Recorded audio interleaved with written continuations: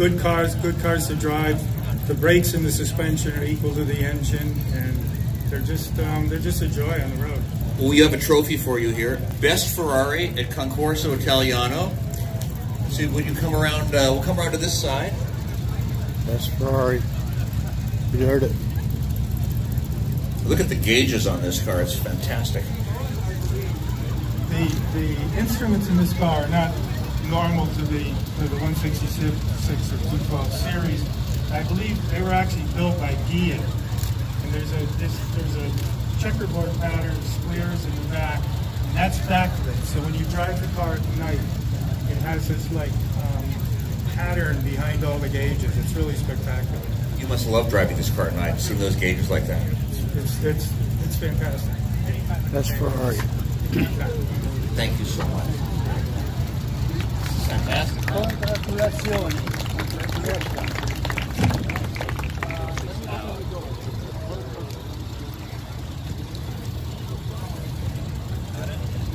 thank you. Thank you. Unbelievable car.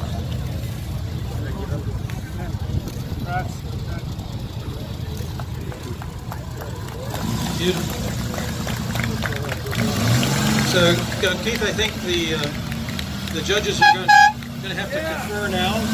Best of show uh, is going to be coming up, and uh, they're going to go take a look at these cars and they're Yeah. going to have some uh, tough decisions. That's the best Ferrari here at the show. And I have, uh, for a long time, I've had six Alfa Romeos, which seemed to me to be kind of the right number. And I decided I this wasn't going to buy That's the trophy. Best Ferrari in show. and I was finished. I had every Alfa I wanted. That was at the Alfa Romeo National Convention. You can remember. I had on the car. I did get the battery.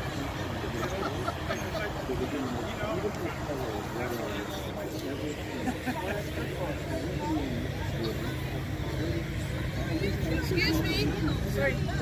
How's it feel to get the best Ferrari? That was pretty good. Huh? Yeah. Pretty good, yeah. Yeah, we figured we'd just come here to have some fun. Right. Where'd you come from? How far? Uh, Connecticut. Oh wow. Across the country early having this fun. morning. yeah. Wow. Obviously the car was shipped out here Yeah. previously, yeah. Wow. We, we used to have a physical Well, congratulations once again. How about that?